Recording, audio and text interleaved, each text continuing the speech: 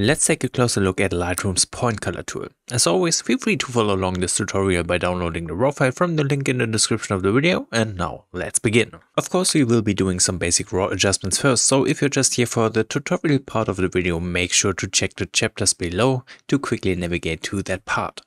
For the basic adjustments, let's expand the basic panel. I'm going to change the profile to Adobe Landscape, which will bring up the base saturation, and I want this shot to be vibrant, so that's perfect for this purpose. The whole shot is a little bit too dark, so I'm going to bring up the exposure right around here. Looks pretty good. Of course, the highlights are too bright at this point, so we simply have to dial them down to balance things a little more. Alright, looking much better. I'm also going to bring up the shadows so we get back some more details from these darker areas of the image. And while we're at it, let's also bring up the blacks. Okay, nice. I do think I want to introduce a little bit of contrast and I'm going to use the whites for that. I'm going to slightly raise them like this. Beautiful. I also want the shot to look clear and sharp. I'm going to bring up the texture for a little more sharpness. Then we're using the clarity to boost the midtones contrast. And I'm also going to add a bit of dehaze for some more extra contrast. Nice. And then let's also bring up the vibrance and that's it for the basic adjustments. We can take a look at before we're quick, you can see the colors do look much better. We do have a lot more details in the shadows and in the highlights of this image. And all in all, it just looks much cleaner. Next up, let's check out the point color tool.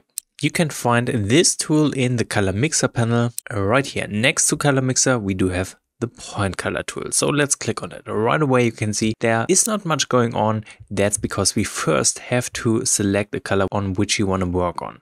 So make sure to click on that eyedropper. Then we want to go hover over the image and we want to choose the color we want to adjust.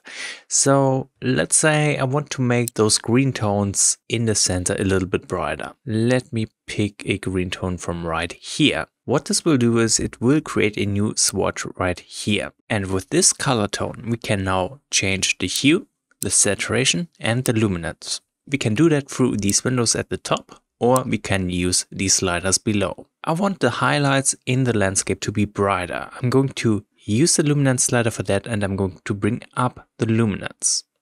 You will see this will nicely make these color tones brighter. We can also use the saturation slider giving this area some more saturation without affecting the darker green tones at the bottom of the image. And of course we can also shift the hue. So we can either make them warmer by bringing the hue slider to the left or we can make the green tones more intense by bringing it to the right, shifting it more into a colder cyan color range. For this color swatch, I don't like to shift the hue, so let's reset that. What we have as well is a range slider. Let me click on visualize range so we can actually see the color range. If I pull up the color range, we will select more of these green tones around it. You can also see the color range changing in the panels above these sliders. If I turn down the range, we will narrow down the selection. But there is even more to it. If we click on that arrow, we get different tools to further refine the range. We get a hue range, a saturation range, and a luminance range, which will be really, really helpful in a moment. Let me demonstrate this on a different color tone. I'm going to click on the eyedropper once more. I want to make the sky more contrast rich and intense. So I'm going to select a very dark blue tone from right around here. This will create a new color swatch. To make the sky darker, I'm going to shift the luminance and I'm going to bring it down a little bit, introducing some more contrast. The problem with these blue tones against these brighter green tones of the landscape is we will create some very visible halo around finer details like around these trees. So as we bring down the luminance, you will see a very visible halo. That's a problem, but using the range settings, we can fix that. So I'm going to use the luminance range and I'm going to filter out the brighter blue tones of the image, which mainly lie around those trees because the sky is just brighter right here. If this isn't enough, I can further filter out the brighter tones by cutting down the upper fall off. I can click on that arrow and just carefully bring it down. We don't want to bring it down too much because then we get a very ugly edge as you can see right here. So be very careful with that slider. We just want to filter out these halos around the trees. So right around here, that looks pretty good. What we can do with the luminance range as well is we can bring down at this point right here and By expanding that range, we are going to select more of the deeper blue tones right here in the foreground, which will give us a little more contrast. I do think the blue tones are a little bit too dark at this point, so I want to bring back the luminance here because I will be stacking a few masks later on on top. So we don't need to overdo it with one simple color swatch through the point color tool. But I do want to slightly shift the hue of the blue tones, giving them more of a aqua color tone like this. That's looking pretty good. Now, what else can we do? I do want to make these orange things right here in the foreground a little bit brighter. So I'm grabbing the eyedropper tool and click right in here to select that color tone. And then again, I'm going to click on visualize range and I want to dial it down a bit. So mainly the foreground is selected right here. And then let's bring up the luminance a bit and let's also bring up the saturation. I think that looks pretty good. Okay, and that's basically how the point color tool works. Now the great thing is we just worked on the point color. If you go back to the color mixer, you can see all these sliders didn't change. So we can stack these settings on top of each other.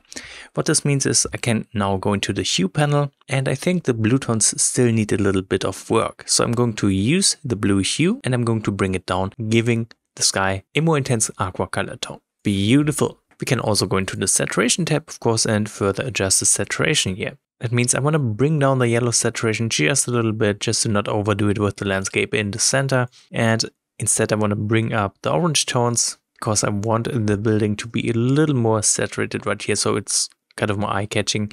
And I'm also going to slightly bump up the green tones. And just like that, you can very precisely adjust colors using color mixer and point color tool. So let me deactivate the color mixer for a moment. That's what we have started with after the basic adjustment and that's the image with the color mixer applied. But that's not all. We can also use the point color tool in combination with masking. So let's go ahead, open up the masking panel. And as I said, I want to stack a few masks on top of the sky to make it look a bit more dramatic. That means I'm using a linear gradient. Let's make it look like this. I just want to make the top part darker. Down below in the panel menu, you will see point color. So let's expand it. And again, we do have this eyedropper here. So click on it and I'm going to click right in here. And again, we can now shift the hue, the saturation and the luminance through this point color tool. So I'm going to bring down the luminance to make the sky a little bit darker. That's looking really, really good. Of course, we could also use a simple color range mask for the same effect, but if you want to have ultra precise adjustments, the point color tool might be a better option in the masking panel right here. So what I'm going to do next is to use another linear gradient stacked on top. I'm going to make it a little bit smaller so the very top part is the darkest part. And again, I'm using the point color tool, pick the eyedropper, click right in here, and I'm going to further shift down the luminance range. So we are getting a nice natural looking gradient from bright to dark in the sky.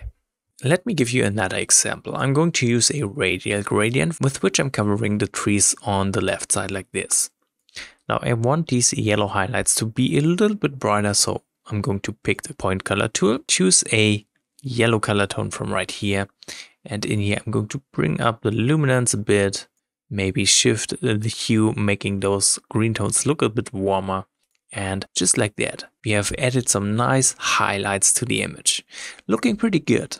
Alright, and that's how we can use the point color tool through masking. Now that's it for the tutorial part, but of course we're not finished yet editing this image. What I'm going to do next is to create a simple sky mask.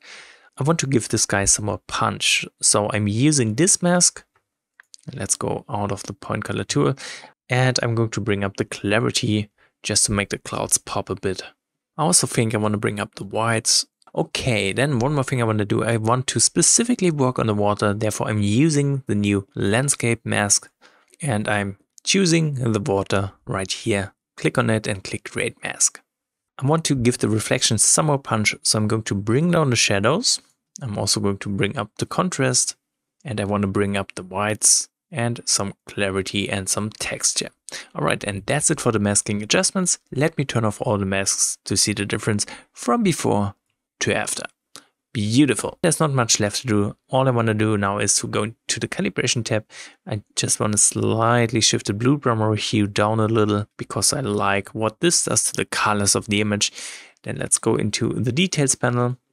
for the sharpening, I'm going to bring down the radius, increase the details, hold down the Alt key while we're applying some masking, and then let's increase the sharpening. Done.